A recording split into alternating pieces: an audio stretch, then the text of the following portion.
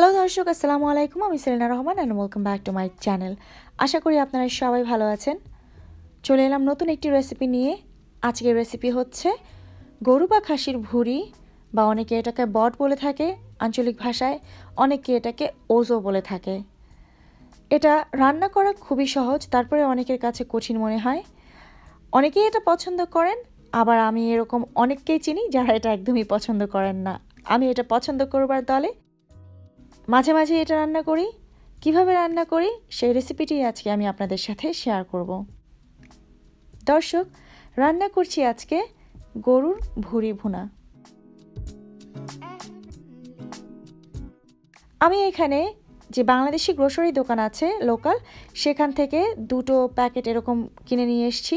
আমি যেহেতু বিদেশে থাকি, সেহেতু এগুলো এরকম সাদা পরিষ্কারভাবে আসে।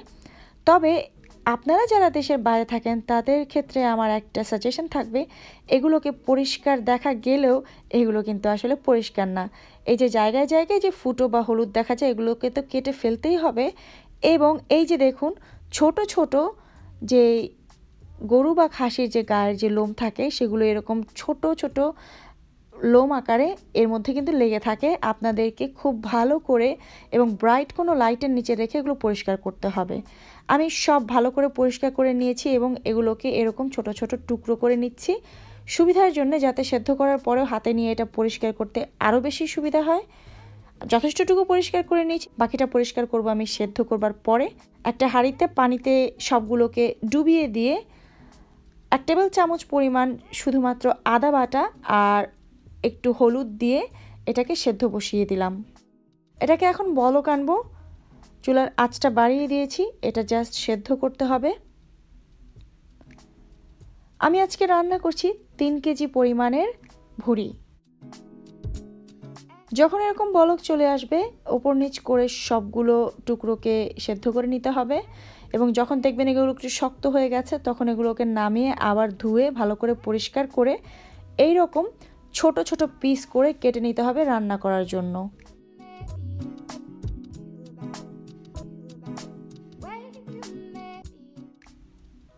একটা ফ্রাই প্যানে আমি তেল নিয়ে নিচ্ছি, আধা কাপ তেল নিচ্ছি, কারণ ভুড়ি থেকে অনেক তেল আসে। গরম মশলা দিয়ে দিলাম, গোটা গরম মশলা। গোটা গরম মশলা মানে তেজপাতা, দারচিনি, লবঙ্গ এবং এলাচ। দিয়ে দিলাম তিন কাপ পরিমাণ পেঁয়াজ কুচি। এই রান্নাটায় কিন্তু পেঁয়াজ অনেক ব্যবহার হয়। আমি তিন কাপ দিচ্ছি তিন কেজিতে। আপনারা চাইলে এর থেকেও বেশি দিতে পারেন, তবে আমি রেকমেন্ড করব এর থেকে কম যেন না দেন।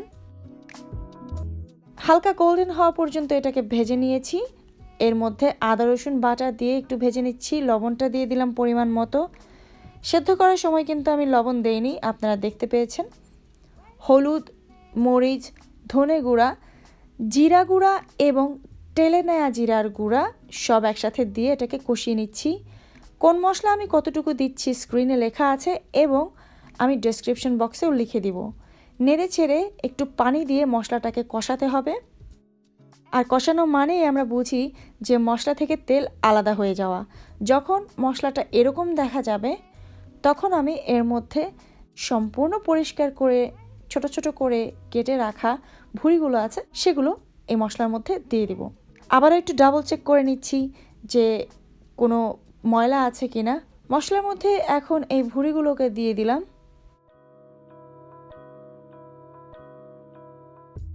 এগুলোকে এখন ভালো করে নেড়ে চেড়ে এই মশলার সাথে মিশিয়ে নিতে হবে। প্রথম দিকে আপনাদের কাছে মশলা একটু কম মনে হলেও মশলা কিন্তু কম না। যত এটা ভাজা হবে, তত বেশি মশলার রঙটা বের হবে। ঢেকে দিচ্ছি দশ মিনিটের জন্য হাই হিটে। দশ মিনিট পরে এই ভুঁড়ি থেকে পানি বের হবে, তেল বের হবে এবং এরকমটা দেখা যাবে। এই পর্যায়ে যখন আসবে তখন আবার এটাকে নেড়ে চেড়ে একটু ভেজে নিয়ে এর মধ্যে আবার আমি পানি দিয়ে দিব। এবারের পানিটা দিচ্ছি আমি সেদ্ধ হবার জন্যে। পানি দিচ্ছি এখানে দুই কাপ। আপনারা চাইলে আরও একটু বেশি দিতে পারেন। তবে দুই কাপের কম দেবেন না। এখন আমি এটাকে ঢেকে ঘণ্টা খানেকের মতো মিডিয়াম আছে সেদ্ধ করব।